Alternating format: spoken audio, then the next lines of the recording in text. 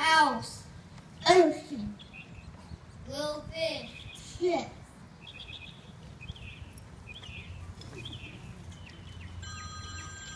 Wow, those words really stick with you. Kind of like the wine stick pants that we're about to perform for you.